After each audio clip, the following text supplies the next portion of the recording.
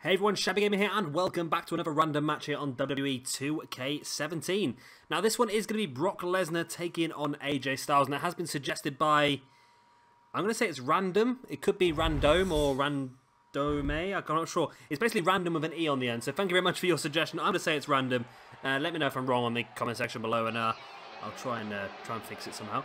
Um, but yeah, it's I'm looking forward to this one actually. I think Lesnar versus Styles is a very good clash of two styles, and it would be a really, really good match. And of course, I have done it at WrestleMania because, come on, Lesnar versus Styles. It'd have to be at WrestleMania, wouldn't it? Um, I, I, don't even know. I think, I think Styles would have had a good chance of going over Lesnar. I don't think, I don't think there's a lot of people that would have a good chance of going over Lesnar, but I think Styles, um, he's really being pushed at the moment, and I think they realise what they've got themselves is something really, really special, and it would be good to see if they would give Styles that chance, basically. I hope they would. I think Styles is a really, really good name. Well, I, I didn't think they would give Styles the push they've given him now. They've given him the championship. He's uh, defeated, he's pinned Cena clean twice. Um, he's pinned Ambrose clean a few times as well. I was a little bit worried after he didn't get put over Jericho at WrestleMania. I thought him going over Jericho at WrestleMania was inevitable, but Jericho got the win. I was really surprised by that.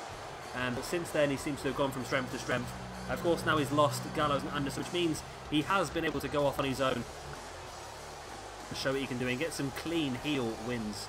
He had some dodgy wins as well, don't be wrong, the low blow against Ambrose and stuff like that, but still, the fact that he's being put over these guys really shows that WWE do feel that he could be a name to really help push them forward, and he, well, he's the, he's the champion of SmackDown, and currently SmackDown is quite well, um, consistently outdoing Raw in the ratings, so I'll say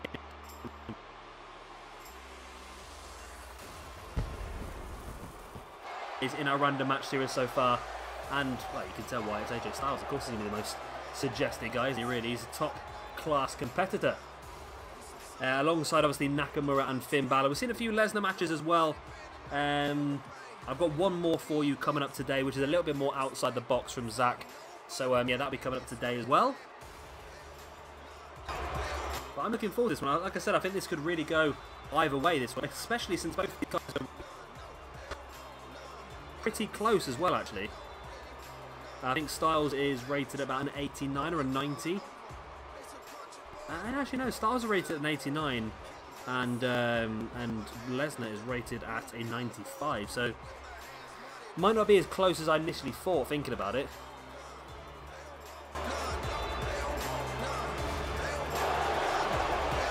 And there he is, the phenomenal one.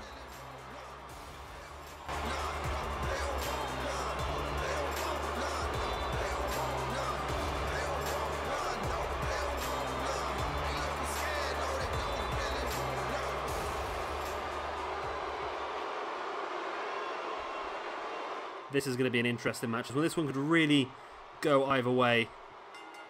The bell goes and we are underway. And so far, Lesnar starting things off very, very strongly with those big German suplex, or the big suplex. And now that Dragon Sleeper hold as well.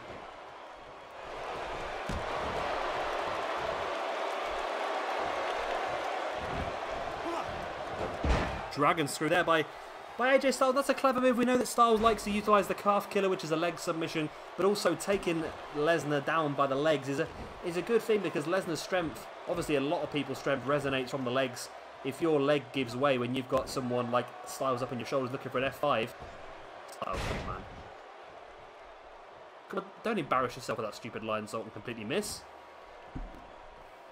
It's a bit crazy, isn't it, really, Styles? You've uh, you've let yourself down there, Styles. Went for the stomp on the back of Lesnar. Lesnar throwing Styles against the ropes and comes back into that big clothesline. And Lesnar continues onwards now on his reign of terror. That suplex, he doesn't even hook the arm for that vertical, uh, for that suplex. Doesn't he hook the arm, just takes him straight over. Now, now going for the stretch muffler. Oh, look at that. Strength of Lesnar in that stretch muffler. And again, it's a clever move by Lesnar because we know how many sort of high, fast-moving uh, moves that Styles likes to use. He likes to utilise springboards as well. So by taking up his legs, you're really affecting Styles' aggression, really. Lesnar now dragging Styles into the middle of the ring. Looking for a T-bone, but Styles reverses into that underhook. Hip toss and a kick to the back as well. Styles bringing Lesnar back up to his feet.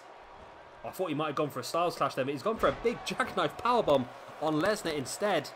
Crazy to think that Styles just hit Lesnar with a powerbomb, isn't it really?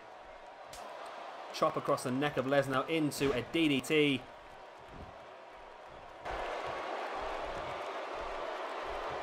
Styles dropping an elbow into the inside the leg of Brock Lesnar. Roll him over. Oh, Lesnar back up and nice little drop toe hold there by Lesnar. But Styles fighting back as well. Big knee to the face of Lesnar. Now, Styles is no uh, is no softy. He's not going to go down to the brute force style of um, Brock Lesnar. Also, Styles is a very, very resilient superstar. So, he's going to have a lot more in the locker, I think. In the back of Lesnar's head into the mat. Now bringing him back up to feet. But Lesnar playing possum, catching Styles with that big shoulder block. And so far, we've not seen... It's an interesting one. Heyman doesn't seem to get involved in these matches. Actually, he did well, he, sort of got involved in the Lesnar Goldberg match, didn't he? Where uh, where he did throw a chair into the ring, but Lesnar never got a chance to use the chair. Styles with the kick to the gut of Lesnar, and Lesnar catches him with the arm drag. Now bringing Styles gut into that very, very loose fisherman suplex. Lesnar, I'm really enjoying Lesnar's move style. I, I just, I, I enjoy a good suplex. And Lesnar just, uh, just oozes suplexes everywhere, doesn't he? There's a first German. He keeps the grip and rolls the hip. And there's the third German. Styles is in big trouble here. Lesnar could get a very quick and convincing victory here. Up onto the shoulders he goes. Lesnar steadies himself and plants Styles face first. Lesnar drops into the pin. This could be a very quick match. One, two, Wow. Wow, that was incredibly quick. Lesnar just destroyed AJ Styles here. And that has just put all of our questions to bed, hasn't it, really? That was brutal by Lesnar. Really was.